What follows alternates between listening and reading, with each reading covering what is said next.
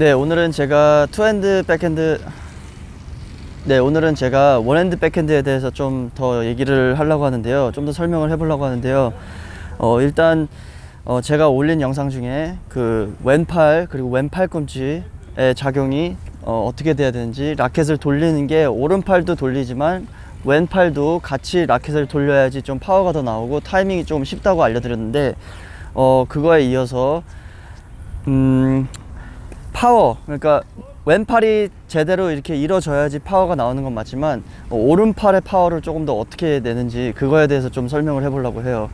네, 일단은 많은 분들이 one-hand 백핸드를 치시면서 파워가 안 나온다고 생각하시는데 진짜 평균적으로는 two-hand 백핸드가 어, 파워가 그리고 공의 스피드가 더 많이 나올 수도 있지만 사실 그냥 어, 넋 놓고 그냥 때린다고 생각하고 그냥 던져버리면은 라켓을 던져버리면은 사실 어, 파워가 one, two-hand 백핸드보다 one-hand 백핸드가 훨씬 많이 나오는 음, 경우가 되게 많은데요. 어, 일단 그 파워가 어떻게 해야지 조금 더 오른손에서 파워가 나오는지 오른팔에서 어떻게 파워가 나오는지 그거에 대해서 설명을 해드리겠습니다. 네, 일단은 그 제 영상들을 전 영상들을 다 보셨다면은 제가 오늘 그 올리는 영상을 그리고 영, 오늘 올리는 영상이 어떤 그 느낌인지 조금 아실 거예요.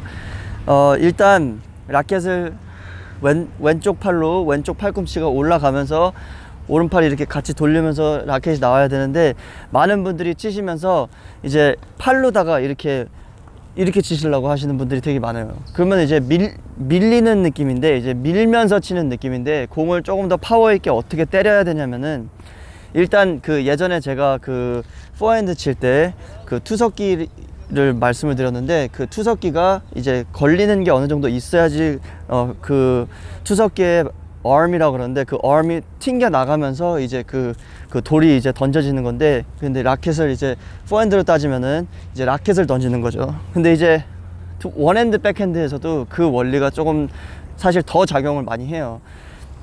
원핸드 백핸드에서 치실 때 몸을 같이 돌리면서 이렇게 이렇게 돌리시는 게 아니라 여기에서 뭔가 걸리는 느낌이 있어야 돼요. 그 걸리는 느낌이 뭐냐면은 여기서 라켓을 돌렸다가 치실 때 여기서 왼쪽 힙이 약간 먼저 돌아가고 어깨가 돌아가면서 팔이 약간 이렇게 몸에 걸리는 느낌이 살짝 있어야 돼요. 그래야지 라켓이 어, 조금 더 던져지는 느낌이고 투석기 느낌이 좀 나오기 때문에 여, 여기 왼쪽하고 왼쪽 hip하고 오른쪽 어깨가 어, 돌아가면서 팔이 오히려 몸에 걸리는 느낌을 해보시면은 어, 조금 더 던지시는 느낌으로 하실 수 있을 거예요.